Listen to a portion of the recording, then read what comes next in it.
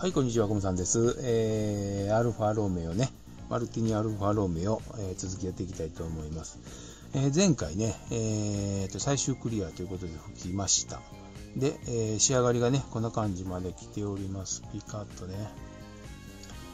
まあ、これで十分じゃないかなというところもあるんですけどね、もう一回ね、最終研ぎ出しするともうちょっと綺麗になるということで、えー、いつもやってますのでね、いつも通りやっていきたいと思いますが、えっ、ー、とね、あの、前回のね、シビックの動画でね、あの、フェアレディ連続行った、行きましたと。それは、あの、視聴者さんのね、あの、もう見にくくなるかね、こう交互に、交互に行くとね、ちょっとややこしくなるから、連続やりましたと、フェアレディ連続やっていきましたと言ってたんでもあるんですけども、あの、実はこの最終クリアね、シビックもアルファロメオも最終クリアを吹いた吹いたということでね、これの乾燥期間を置きたいというのは一つああるんですね。その視聴者さんが見にくい、ちょっとややこしくなるかなっていうね、あのー、感じがしたんで、フェアレディをとりあえず連続で完成まで持って持っていきましたっていうのも一つあるんですが、えー、乾燥期間を置きたかったというのも一つあるんですけどね。はい。それでこれでね、もう完全に乾いてますので、今日はね、えー、と最終研ぎ出しをやっていこうかなと思います。えー、ラプロスの8000番でまず、まあ、行くんですが、えー、っとね、これね、ラプロスの8000番じゃなくてもいいんですけどね、コムさんどっちかというと、この神安の6000番か8000番で最近行くのが多くなってきてるんですけど、一応まあね、ラプロスの8000番でボ、ボディから行きましょうか。ボディね、ちょっと見にくいんで、あのー、ね、白、白なんでね、はい、もう早速ね、えー、こんな感じなんですけどね、早速、軽くね、細かい、あの、ブツブツ、ブツブツじゃないね、こう、ね、あの、細かい、こう、なんていうかな、波打ちいうのかな、はあるんですけどね、うん、もうピカッと仕上がってるのは仕上がってるんですけど、あるんですね。で、実写の塗料、塗装もね、あの、実写の方もよく見ると、細かいね、あの、ブツブツっていうのがあるんですよね、実写も。あの車乗っておられる方はね、塗装面よく見ておられて、あの分かると思うんですけど、こうポコポコポコというかこう細かいね、こう波打ちみたいなのがあるんですけどね、そういう感じのブツブツがあるんで、それは、それでね、もうありかなっていうところはある、思うところはあるんですが、だからこのままでもね、OK かないところはあるんですけども、あのー、ね、やっぱりね、プラモデルのね、大きさとしてはね、できるだけない方が綺麗やということで、最終研ぎ出しね、こうやってやっていくんですけど、もうこう言ってる間にね、もう、あの、最初こうやり始めはちょっとザラッとね、感触あるんですけど、細かいザラッとあるんですけど、まあ微妙微妙にですよ、うん、あるんですけど、もうね、こう、このぐらい越してくるともうなくなる。ね。完全になくなってきてしていってるはずです。これで艶消し状態というかな、3えーと、ペーパー当てたという小傷、8000番ね、ラプロスの8000番のレベルの、えー、小傷はここについてるんで、ちょっと艶消しね、状態にはなってきてるとは思います。はい。で、持ち替えました。これ8000番紙安のね、こういうね、ここ段差ちょっとあるところね、ここがね、こういうやつでこう、トンと当てていくとね、こっちはみ出さないね。まあ、力余ってこっちはみ出す時はありますけど、ね、これでこういうのでね、こう。で、あの、気付けたいところは、これは研ぎやすくなるんで、いつまでもゴシゴシゴシゴシやっちゃう。ね。すると、あの、削れちゃう。ね。心配がある。ただ、あの、中研ぎ後のね、最終クリアまで拭いてあって、結構な厚みがあるんで、塗装のとこまで、塗装の層まで行くのは、あの、なかなかね、いかないだろうというところはありますので、安心していきますけども。はい。で、この、ね、アンテナの土台の部分なんですけどね、今回コムさんもこれを活かしていってます。うん、実写もなんかどうもこんな感じの土台があるんですよね。なので、これも取りませんでした。研ぎ出ししにくいですけど、この、こういうやつ使ってね、スポンジやすいみたいなやつ使って、こうやって合わせていくと、この際もね、綺麗に研げるんで、はい。ちょっと一回拭いてみましょうかね。ああ、もういけましたね。これでね、よーく見てね、研ぎ出しね、ここできてますよね。わかるかな？艶ないですよね、ここね。ちょっと若干ありますけども。こっちまだピカッとしてますよね、ここ。わかるかな？これ。これが、ここまだ研いでないんでね。こんな感じで。ですね。ここちょっとわかりにくいです。白やからね。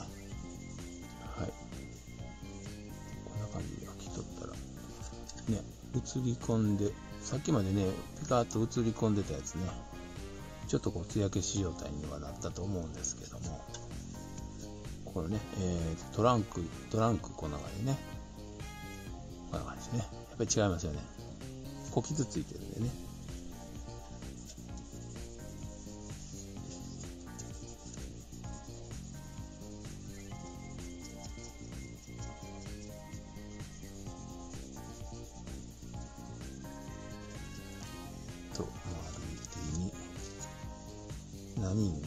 726番の赤塗装の部分ね。こんな感じで削っていきます。今こんだけちょっとささっと削りましたよね。拭いてみましょうか。ね。もうあのつつらできてるんでちょっと触ったらもうねすぐつや消しが揃ってる。このぐらいのもんなんですね。はい。実際はね。コムさん結構薄くしよう思ってるのもあるんで結構しつこくね、あのシャカシャカやってますけども、実際はこんなもんでいけます。もうこのぐらいですよね。今ちょっと数回削った、もうこれで艶消しになってる思うんですよ、こんだけね。ここと比べてね、ここ光ってるでしょ。艶消しになってますよね。揃ってますよね。溶けてない部分っていうのがないないですよね。ここは光ってるけど、ここは艶消しみたいになってないっていうね。全体に艶消しになってるということは、全体に綺麗に削れてるということだと思われます。ここもね、ドアノブちょっと気をつけながらね、ここ削れてしまうんで、ささっとね、もう削らないわけにいかないんでね、ささっとだけ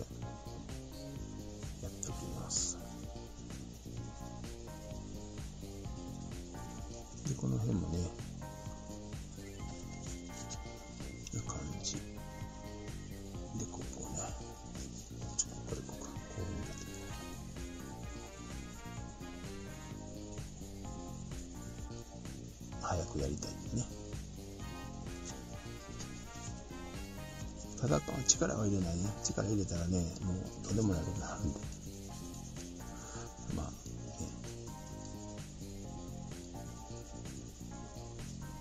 こうこうして、こっちからどこか。あと、まあ、デカールの段差ですね。いつも言うようにね、デカール貼った場合は、デカールの段差。うん、しっかり消したいんで、これで一回ティッシュで取って、あのー、まだ段差あるようやったら消す。まあもうもうそれで OK やなって自分が思ったらもうそれで OK だと思います、それもね。ね、えっ、ー、と、もう段差はね、前回でもかなり消えてるんで、今回ね、もうないですね。ほとんどないです。はい。こんな感じで。で、艶消しにもね、してるんですけど、先ほどから言ってるね、もうこれで仕上がり状態ぐらいまでいってるんで、うん、艶も見えるしね、はい、艶消し状態とまではならないね。あの、クリア拭いたやつと比べると、ちょっと艶消し状態に見えるぐらいのレベル。ね。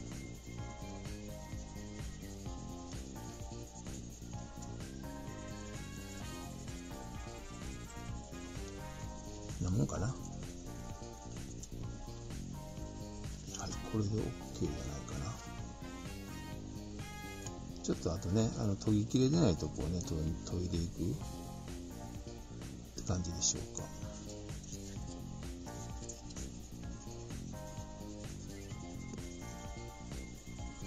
はい、こんな感じで、えーと、ボディの方はね、今、えーと、両あのこっちね、右サイドやりました。左サイドも同じ作業になるんでやりません。ああのやるんですよ。作業やるんやけど、動画にはやりません。あの出しませんのでね、はい。やっときましたっていうことで置いとこうかなと思います。ということで時間ね、相当長くなっちゃうんでね、動画の。うん、もう今これでも20分ぐらいね。ぶっ通しこれこのまま流せば20分の動画になっちゃうんですよね。はい、なります。で、で、あんまり長いんで、いつもね、タクタクと切って、いらいらないとこですよ。こここの同じとここうやってね、ここ捨てるのずーっといらないですよね。まあ最初から最後まで見たい人もおられるとは思うんですけど、うん、こう、まあやりますよってこう解き始めて、まあ、コムさん喋ってるやつはずっとね、流しますけど、こうやり始めて、でずっとこの作業続いてるのはまたその区間をパズッと切って、この、いつもね、見ていただいてると分かってる、分かっていただいてると思いますけど、これの、この作業の、まあこう変わったとしたらね、こここで始まってみたいな。何の何の説明してんやろ。編集の話。プラモデル動画やから、これ編集の話別にどうでもいいやと思うんですけどね。なんか説明しちゃってるな。えー、っとね。で、ここできました。はい、こんな感じでできましたってなるんですね。コムさん動画の場合。なんか中身がね、もう切ってるとこはほとんどそういうところだけということですね。あと、コムさんがしょうもない話してるとき、こんなんいらんわと思わずね。はい。それ、まあまあ NG 集みたいなやつ作ってね、コムさんのいらない話集みたいなやつ作っといたらいいんですけど、動画をね、その、置いとく、ね、まあ、パソコンに取り込んで置いとけばいいんですけど、なかなかね、置いとけないやつでね、容量あったりするんで、すぐ消しちゃうんで、うん。だからね、コムさんの今までの動画はね、一切残ってないんですよ、手元に。うん。普通記念で残ってるようなもんじゃないですか。そう、でもね、全部消さな、あの、容量な、足らんくなるんで、全部消しちゃうんでね、今までの動画はないです。YouTube にだけ残っていると。YouTube だけですね。だから YouTube さんが、えっ、ー、と、動画のこの配信のやつになくなったら、あのー、コムさんの動コムさん動画がなくなっちゃうっていうね。うん、画像がなくなっちゃうっていうね。新たに作るしかないっていうね。状況になります。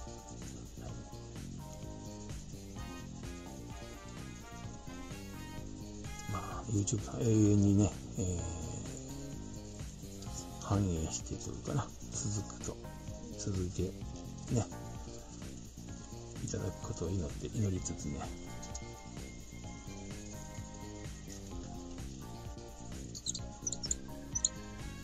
ここにねあのちょっとこうモールドあるんですよね。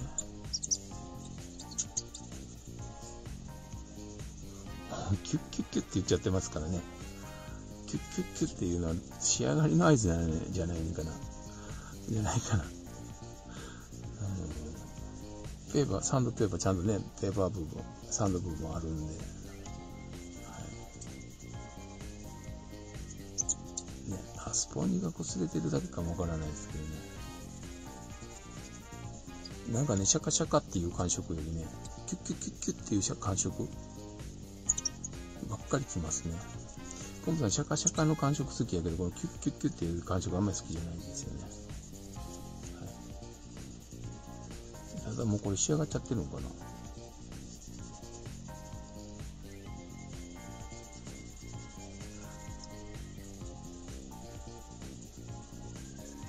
まあ仕上がりの合図ということはないですけどね、キュッキュっていうのがね、ただスポンジみたいなやつが擦れてる音やとは思うんですけどね。うん、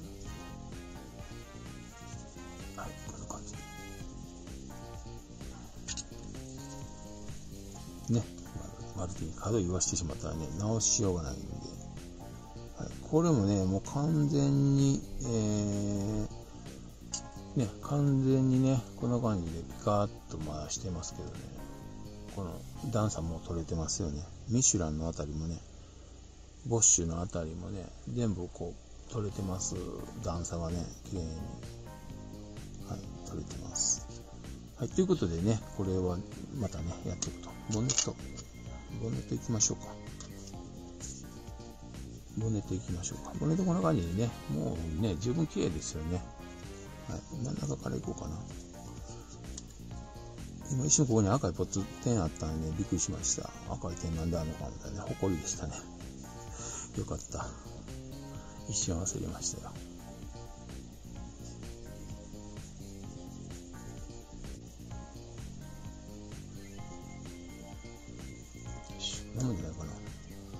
もうバッサリでいいと思いますね。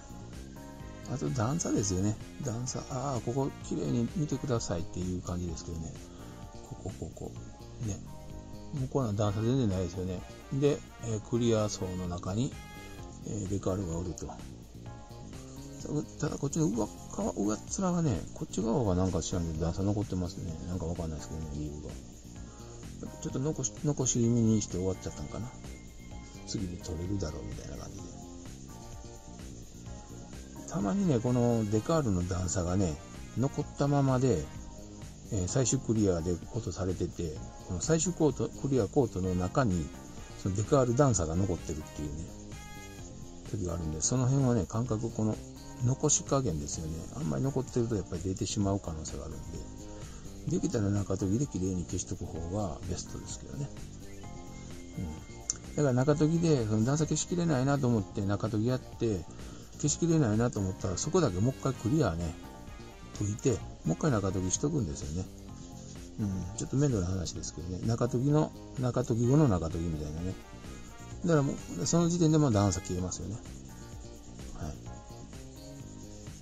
その辺も感覚ですよね。これで次の、次の最終クリアで消えるなっていうレベルやなと思ったらそれで OK やし、消えないなと思ったらもう一回中研ぎやるというぐらいいくと、この段差は完全に消せますので、あの、1回目のクリアでね、あの消えてないからで無理やり行ってね、あのそあの削いじゃったというかな、削っちゃったっていう風になる恐れがあるんでね、そのそれを考えると、やっぱり、もう一回クリアを吹き直して、そのクリアで段差を消すという風にした方が安全ですよね。ちょっとあの手間かかりますけどね、めんどくさくなりますけど。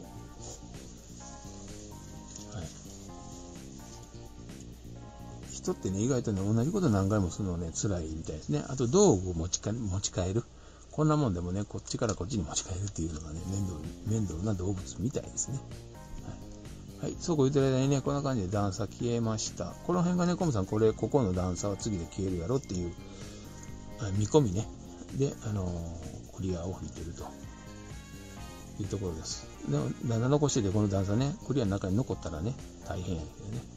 ただもうその残っちゃった場合はしょうがない。もうこの最終クリアどこと全部こ、あの、2000番ぐらいでずーっと削っていってね、もう一回戻るしかしょうがないね。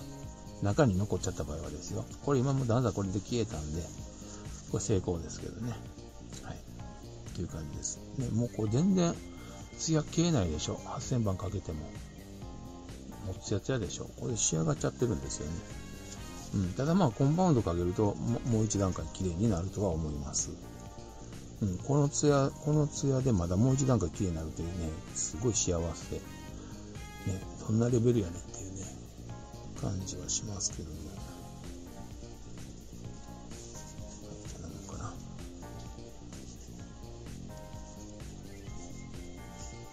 最終研ぎ出しはね、うん、もうあと仕上がっていくだけなんでね、あ、角も言わす心配ないんで、あのー、まあね、あんまりガシガシ粗いやつでいくとありますけどね、ね、だいぶかあの角角をね削っちゃうというね、あの可能性低くなるんで気楽にね楽しくこうツルツルとしていくだけの作業になるんでねめっちゃ楽しいですよね。あとまあ気になるのは段差。うん。ですよね。中時で完全に消しとけばこの時点でも中その段差のことは気にしずにいけるんでで、まあまあ、何遍もいつも同じこと言いますけど、この段差別に残ってもいいやんかというところはありますよと。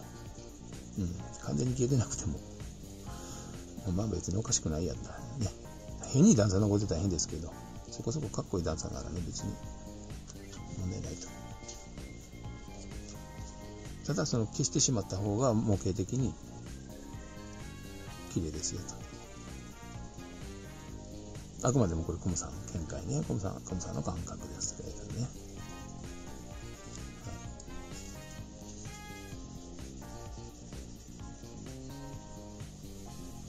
い。な感じかな。これでできたと思われます。はい。このようにね、細かく削っていきますよ。もうね、こんなん全然あれですよ。もうあんまりガシガシいかなくてもね、ささーっとこう撫でるだけでほとんどやってくれると思うんで。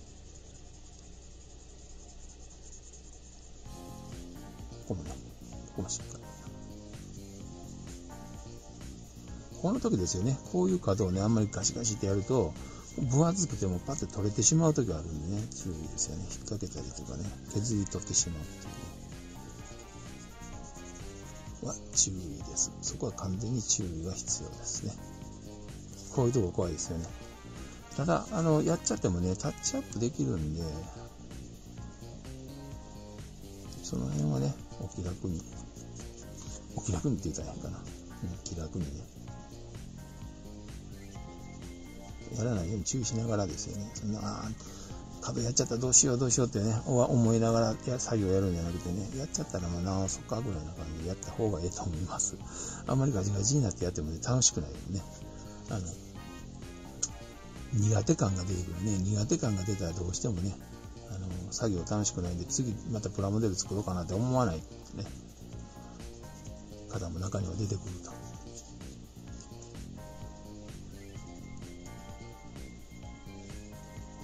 この作業を楽しんでるっていう感じでね、やっていくんで、次もやれるんでね。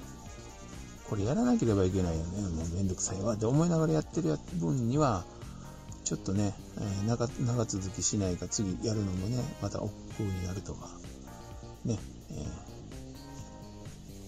ー、めんどくさいなってなっちゃうんでね。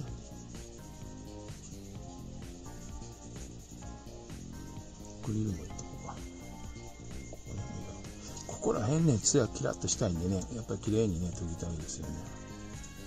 カットはゆえね、やりすぎたらね、削れちゃうんで。ね、グリルいこうか。グリルも相当ね、これクリアかかってるんでね、結構削れると思うんでね、ツルピカにしときましょう。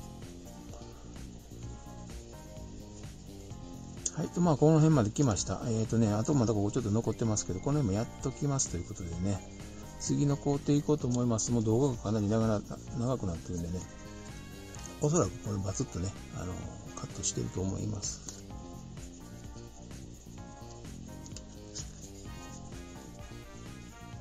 はいと、そうこう言ってる間にね、えーと、こんな感じでできました。もうちょっとね、このアルファロメオのブルーのラインのところはもうちょっと削りたいと思いますけど、だいたいこんな感じでできましたよということで、これはあとコンパウンドをやっていきますということで。えー、コンパウンドやっていきます。えー、ね、こんな感じで終わりましたのでね。はい。え、なんで面白いんでしょうか。あのー、ね、シビックとね、連続になってまたね、同じ作業なんで、はいこれ、この辺ちょっとね、あの、帰れたらいいんですけどね。はい、まあ、やっていきましょうかね。はい。ね、こんな感じで、やっていきます。どんどんどんどんね。800番、じゃあ8000番ね。8000番で、できるとこまで伸ばして、えー、まあ、ちょっとね、こう伸ばしすぎてる感じのところはもう一回ね、後で次のつけた時にね、そこももう一回やるという感じでとにかくねマルティニーと6番ねカーナンバーのところをねえー、っとやって、え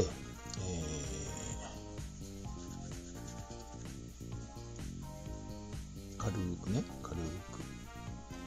これコンパウンドってすごいですよね。こんな軽く軽く撫でてるだけですよ。こうゴシゴシゴシって拭いてるんやったらねつるっとしたろかって感じになると思うんですけどね、あの逆にあんまりゴシゴシってやるとね、傷いちゃって。あかんのです。ということでね、こんな軽く軽く撫でてね、布でね、軽く軽く撫でて、それでね、拭き取るとつるっぴかってしちゃってる、するっていうね。すごいですよ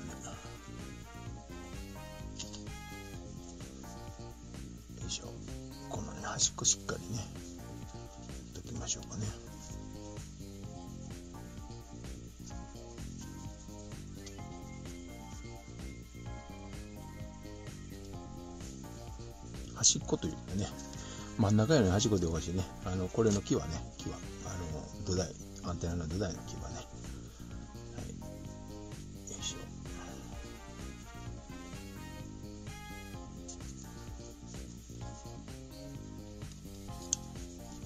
こんな感じでしょうか。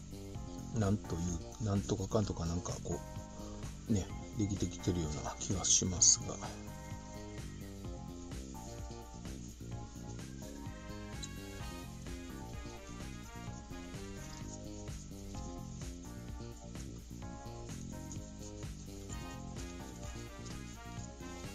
映ったり映らなかったりかな。ちょっと動くんでね、画面がね。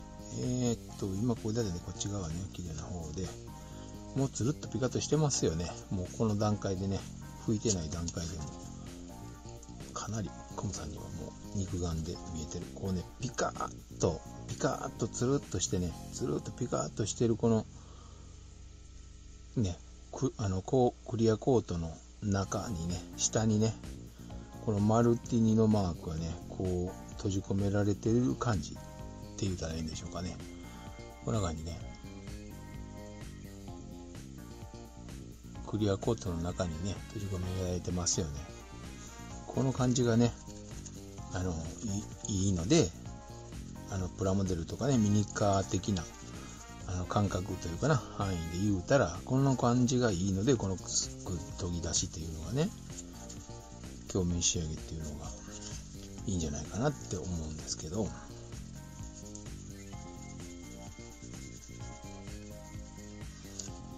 い感じ、ピカッとしましたね。そしたらね、サイド、サイド行きますけどね、サイドは、えっ、と、サイド行きながらね、今やったところ、この辺ね、この辺のところはもう一回ね、あの、やるというところでしょうか。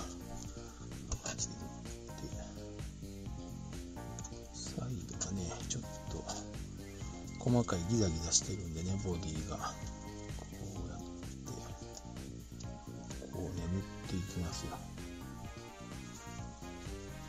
この辺はね、スポンジ使ったらええかな。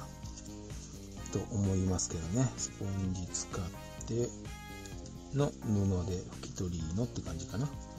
今は布でいってますが、これメガネ拭きね。いつものメガネ拭きでいってますが、とにかくね、塗りく、塗りつけて、塗りつけて、こうね、拭き取っていくと綺麗になってくるんですけども、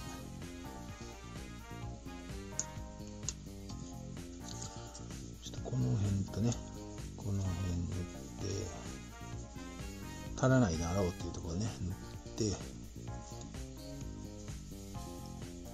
ちょっとスポンジでいってみた方がいいかもしれないな。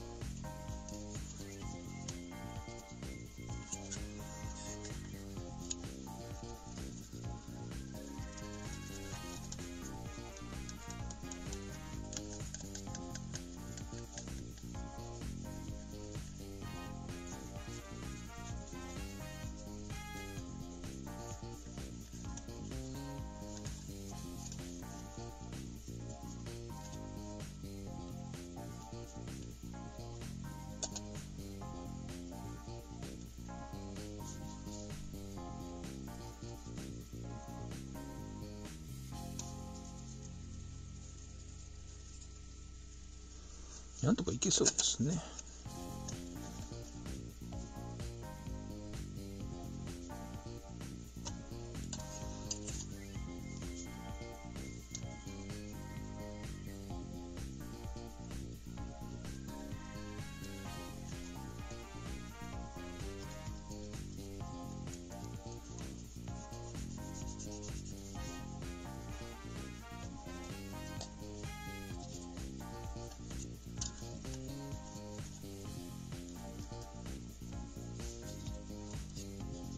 フェンダーの縁ね。フェンダー木は。よく磨いておきましょう。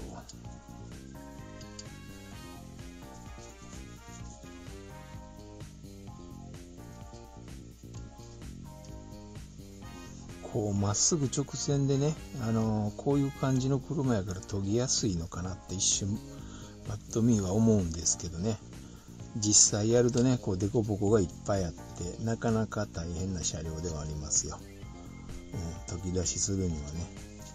あまあまっすぐなんで、あのー、ね、こうやっていけばいけるんですけどちょっとやっぱりねこう凸凹してるんでねこういうとこでもねこうちょっとへこんでたりとか。するんでね。これで今ねえっ、と布の方で拭いたら出来上がってるんじゃないかな。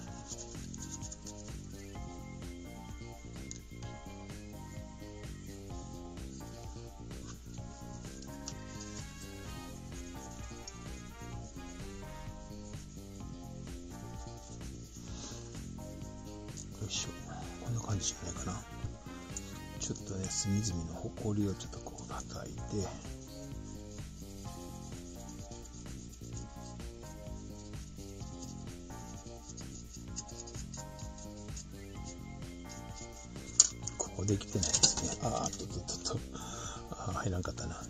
えー、ちょっとちょっとここここここできてないですね。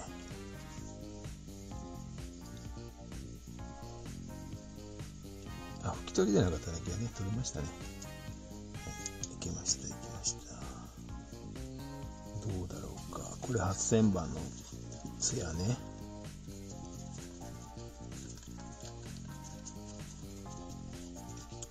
マルティにこんな感じでねキラーンとねしております。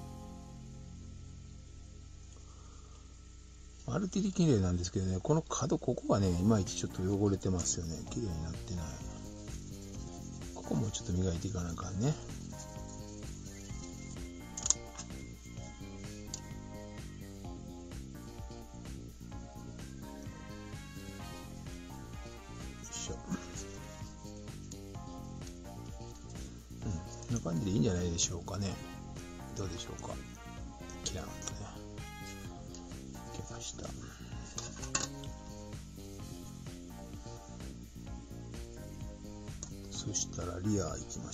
ちょっとねスポンジ使います。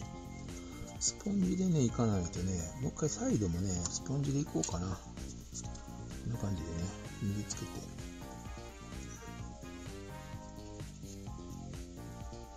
あちょっとあれやな。ほこりが。塊のほこりがね。まあコンパウンドやからね、えー砕けてくれるかなと思うんですけども。こうやってもう一回ねこれで拭き取ります後でね。このリアもこうか。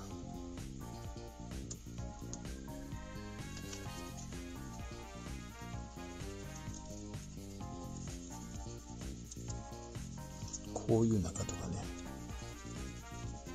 こういう角ね。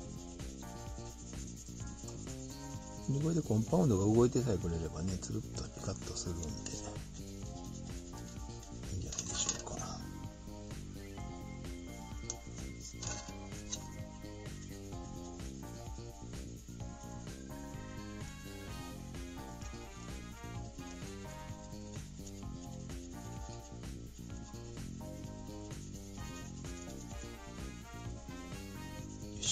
この状態でねずっと全部ね塗りつけていきます。で後で拭き取るという感じにしようかな。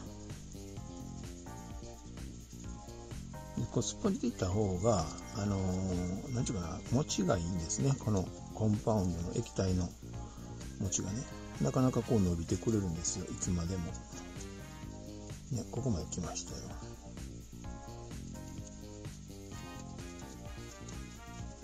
これスポンジのいいところはそのあたりやと思いますね。そのあたりがいいかなと。思います。ただあの布の方がツヤはね綺麗に出ると思うんで最後最後の最後はね布でもう一回ね綺麗に拭き取る際に磨くみたいな感じかな。どうでしょうか？かなり伸びてるでしょう。こんだけね。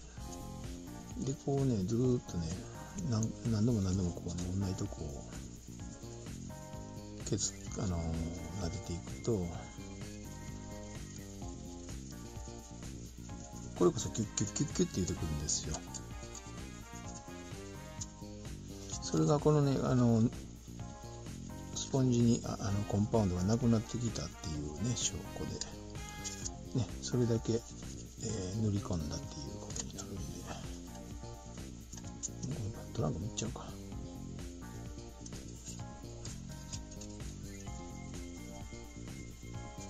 もうキュキュキュキュって言うてきてるんですけどね。磨き上がってるっていうことでもあるのかもしれないですけどね。あ聞こえてきたね。ね。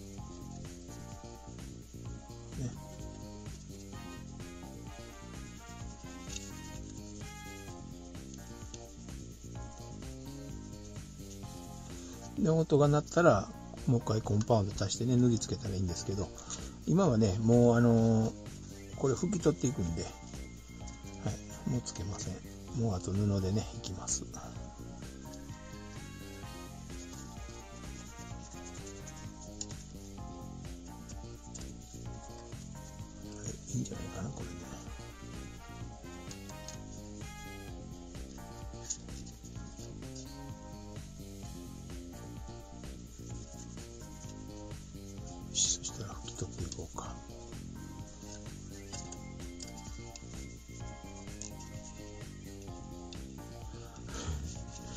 スポンジでいくとねがっつりつくんでねあのたあのうまくうまく出るっていうのかな。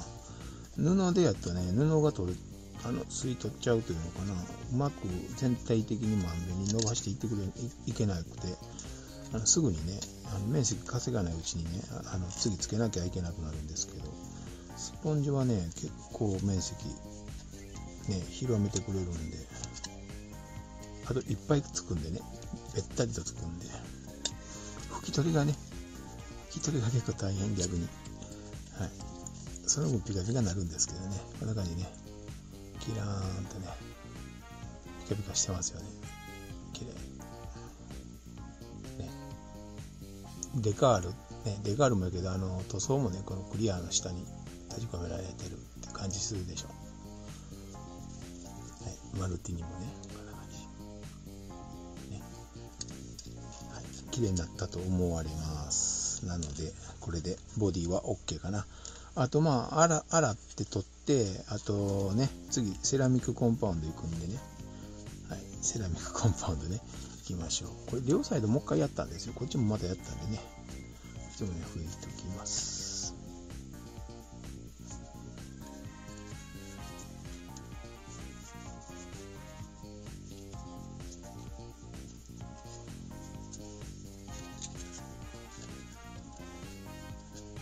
これは拭き取った方がいいですね。洗い流しちゃうとね意味なくなるんでね。拭き取って。ね磨いていくという感じで。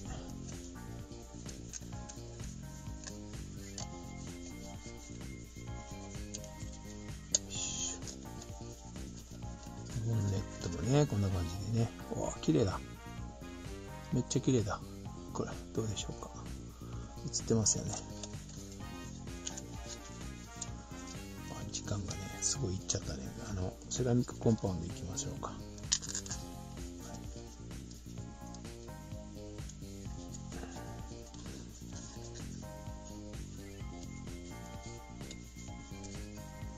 はい、テールもね、こんな感じで、ね、キラーンってね、マルティニすごいですね。はい、そしたらボンネットだけね、これまた8000番ですね、ボンネットだけいって、ね、セラミックコンパウンドいきましょうかね。セラミックコンパウンドはね、結構ささっと早いんで、短時間で済むかもしれないね。ね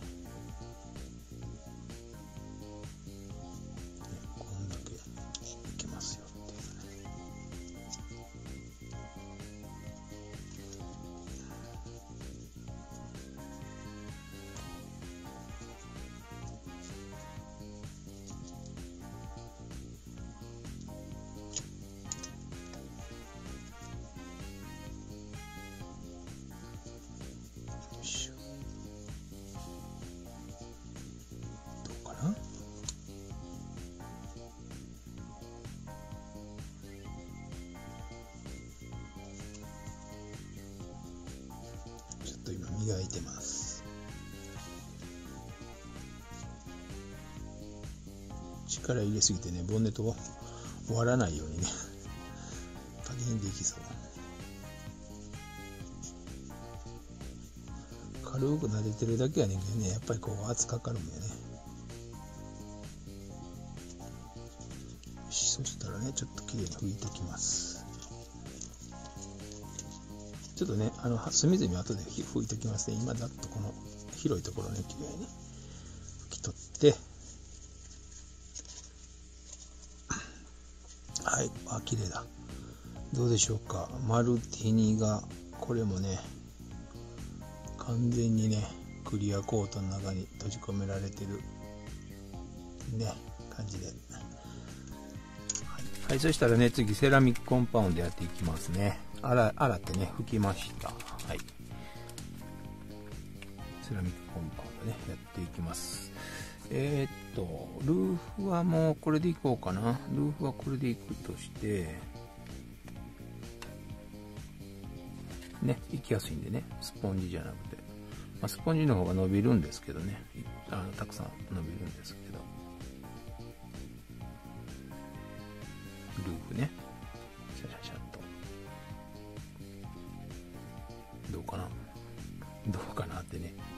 それが綺麗になるのは前提なんでね、セラミックコンパウンドやると。前提なんで、あ、やっぱりちょっとスポンジいこうかな。スポンジの方がやっぱりね、しっかりついてしっかり伸びる。ね、こんなに伸びる。で、この辺もね、こう、ゴシゴシとね、こう、ね、隅々ね、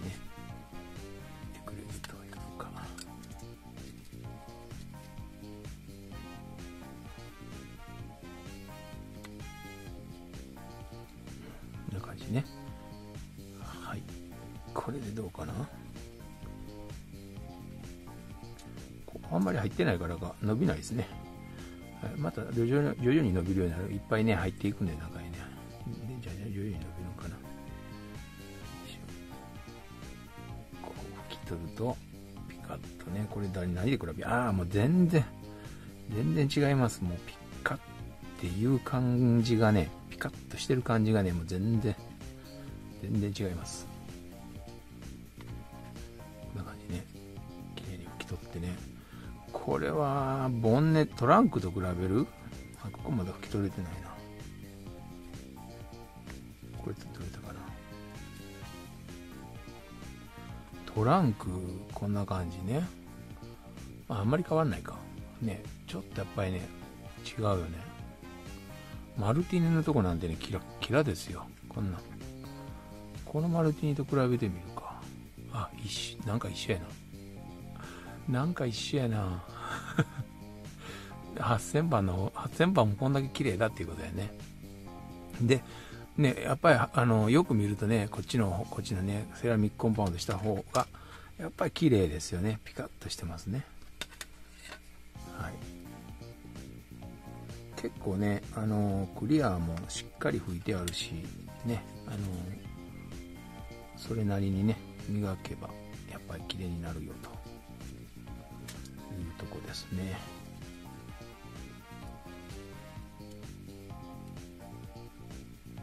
こんなスミッチョもね、こう押し付けて、これスポンジだからね、めちゃくちゃきつく押し付けたらね、あの、やっぱり、いくらスポンジでもね、傷ついちゃうんですけども、えー、ね、軽くね、こうギュッと押し付けるぐらいなら全然大丈夫なんで、まあ、スポンジなんでね、傷く、あの、押し付けても傷はつかないと思うんですけど、何かね、こう、ギューッと押し付けちゃうと、やっぱりね、何か、擦れたりとかね、スポンジの、あのいくらスポンジといってもね、この、あの、こういう繊維みたいなのがあるんでね、これ、これでね、ギューッとやって傷つく可能性もあるんでね、あんまりきつくは、ね、そこそこね、そこそこは、この、このぐらいビッとそこそこ押さえてもね、大丈夫じゃないかな。っていう感じ。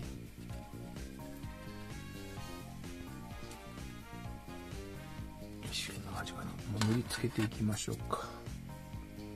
リアねリアボンネットトランクトランクね。トランク。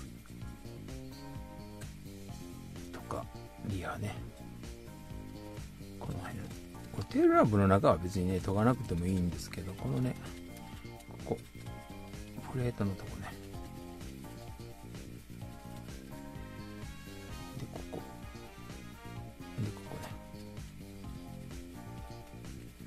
こういう突起物があっても傷つけずに済むっていうね、いい点がありますよね、スポンジやと。はい、こんな感じでね。布やとね、引っ掛けて、引っ掛けてね、パチンって、あの、パツンってあの、取っちゃう可能性あるんでね、その、突起物についてる塗料とかをね。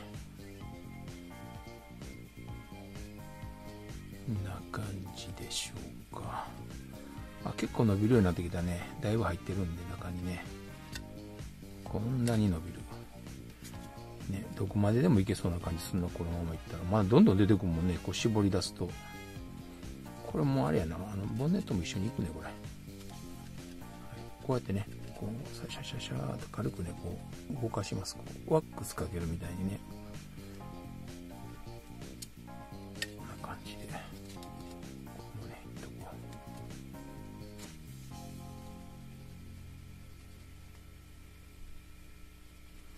う。とにかくコンパウンドを動かすね。それによってこう磨かれていくのでね。なんかやりやすいから何ぼでもやっちゃうね。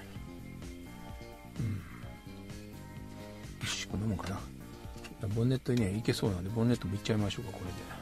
こんなにつくまだねこんなして。つきますよ。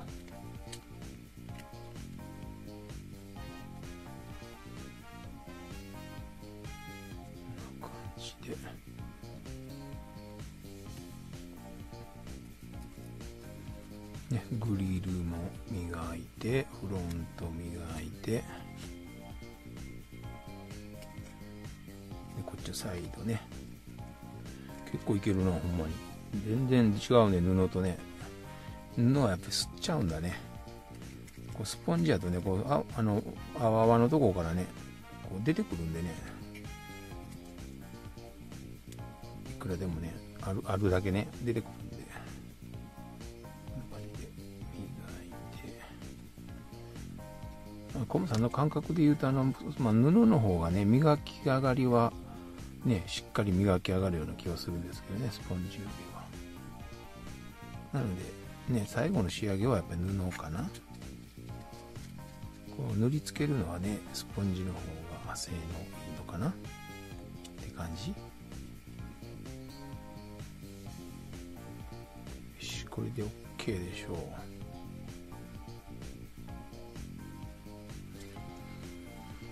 はいそしたらね拭いていきます。えっ、とサイドからね。こうしてね拭いていってピカッとしたら全体にピカッとさせたらあの細かいところは洗い取ってしまいます。洗い流してしまいますね。こういう角はねしっかりとね拭き取る。こういうところもねピカッとさせとかなあかんのでねしっかり拭き取っておきます。こういうところもねちょっとこう足押し当ててこうねどうだろう。マルティに綺麗になったかな。あ、なったね。なりましたね。ぴっかり、ぴっかりね。こんなんです。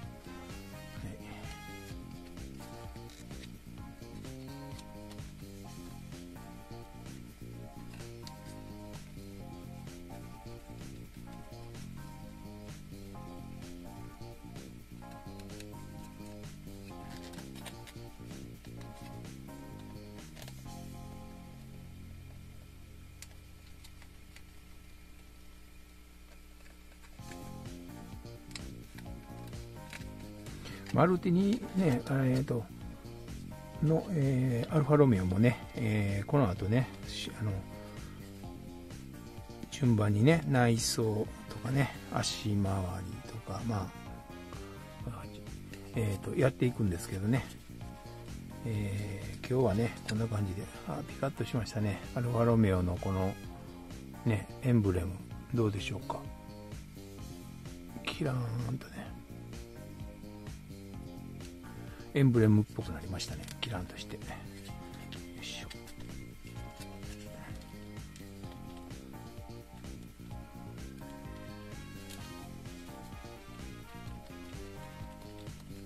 よしいいんじゃないかな。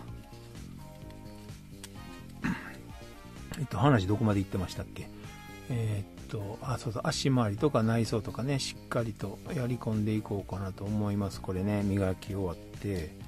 次回次回ですね。今回もこれねあの最終研ぎ出しということでね動画ね終わっていきますけども、えー最終研ぎ出しで来次回ね次回の動画はそういう続きをやっていこうかなと思います、まあ、シビックとね同じ、えーような感じかな。でもシビックねシビックパーツ少ないんですよ。パーツ少ない上上にねあのもうねあのあバスタブが確かあの塗装したんかなうんバスタブ塗装したんですよであの一応あのね、えっ、ー、と、今やってるシビックの内装として見て、あのね、下、足元がね、どうも黒く塗られてるっていうやつがあるんですよね。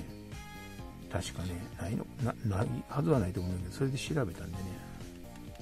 なのでね、黒く塗装したんですよ、あの時ね。はい。シビックして黒く塗装してます。で、指定色も黒やったと思うんでね、多分。うん。ただ別の動画で見た時にこのピンあの蛍光レッドで塗られてるやつがあったりするのがあれはあれかなあっちのえなナインナインっていうかなもう違う方のシビックかもしれないね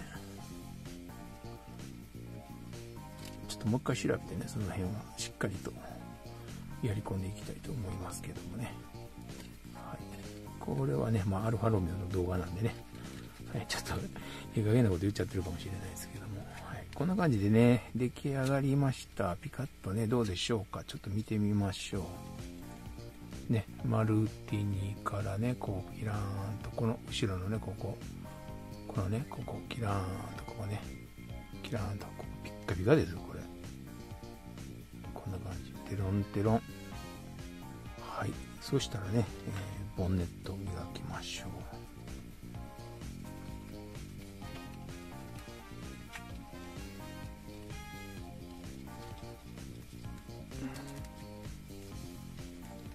でパキンって割ってしまわないようにねちょっと力んでね今ちょっと力んで拭いてますねこのさうん綺麗にしようと思っていつもこんな力入れないんですけどねよいしょもう軽く軽くね。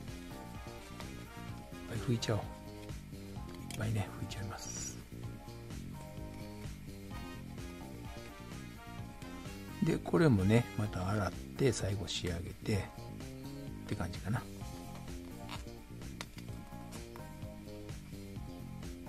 こんだけピカピカするとねあの磨かれてないとこと磨かれてるところのね差がねはっきりくっきり出るんでね。あかんとこは直すね。まあ、あかんとこなさそうですね。どうでしょうか。な感じね。ピカーンとね。デローンとね。かっこいいですよね。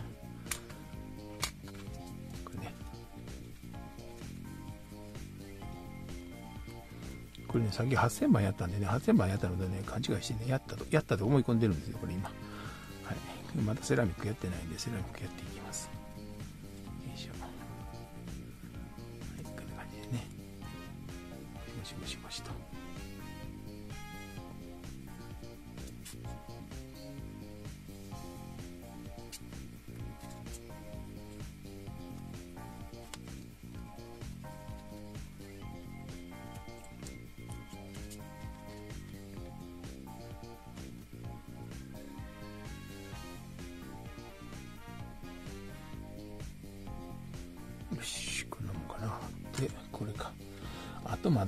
あれなんです。ミラーのパーツを塗装してないんですよね、コムさんね。ミラー塗装していかなあかんね。で、磨かなあかんからね、最終的に。その辺もね、やっていかなきゃいけませんのでね。まだまだアルファロメオの方がね、いっぱいやることが待ってます。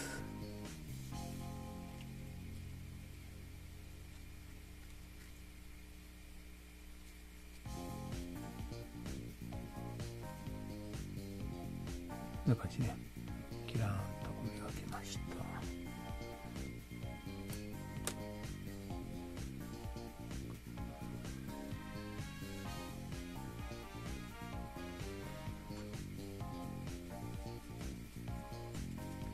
はいこれもね拭いて洗っときます。こんな感じでねあもうささっと拭いちゃおうかな。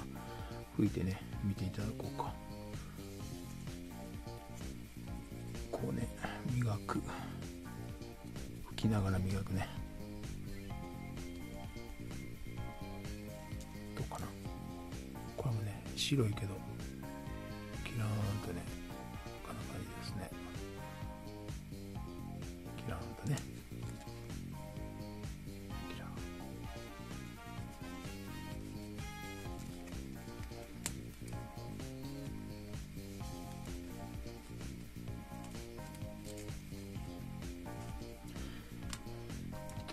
い、ということでね、今日はこれでね、終わっときたいと思います。えー、大変長い間ご視聴ありがとうございました。長時間ね。はい、アルファロメオ。これまた洗ってね、綺麗にしてから、あれしますね。あのー、写真撮ってね、また画像上げますので。はい。えー、こ。はい、こんな感じね、できましたよと。くっつかない。はい、体にね、全然なんか、ね、組めないね。こうやって置いとこうか。ということでね、今日はこの辺で終わっておきたいと思います。大変長い間ね、長時間ありがとうございました。えー、まだね、時間頑張っていきますのでね、よろしくお願いします。ご一緒の方ね。で、あのー、コムさんのね、チャンネル登録の方もね、どしどしよろしくお願いします。はい、こんな感じですね。綺麗です。はい。はい、ということで、えー、っと、はい、それではね、えー、とマルティニアルファロメオ、えー、155V6Ti でした。お送りしたのはコムさんでした。それではまた次回ね、お会いしましょう。さよなら。